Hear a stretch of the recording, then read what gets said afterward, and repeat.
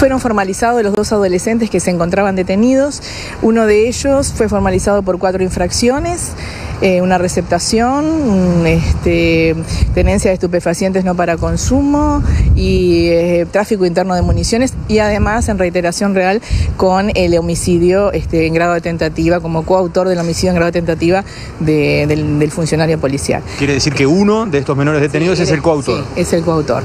Falta otro que no fue habido este, que no era el, que fue detenido, sino que el que fue detenido este, fue eh, formalizado por las evidencias que se encontraron en el allanamiento en su casa, que es un tráfico interno de municiones. Ambos fueron este, privados de libertad, uno hasta el, digamos el, que tiene más infracciones hasta la, hasta hasta que se dicte la sentencia y el otro la fiscalía pidió 90 días, el juez eh, hizo lugar a 60 días de internación. Ellos reconocen, uno de ellos reconoce haber estado Sí, sí, sin duda, sin duda, sí confesó, sí. ¿Y era para robar el arma de reglamento? Sí, exactamente, para robar el arma de reglamento. Lo vieron a la gente de espalda y... Exactamente.